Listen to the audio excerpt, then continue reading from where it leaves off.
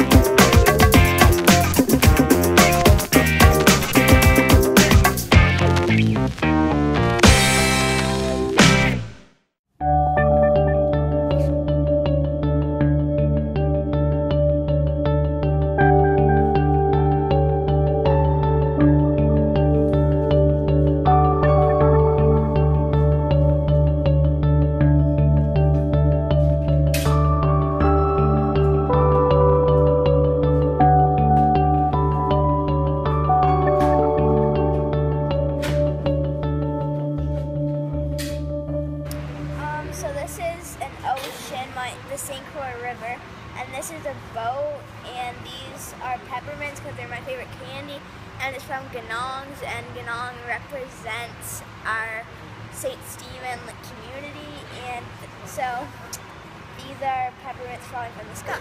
So, yeah.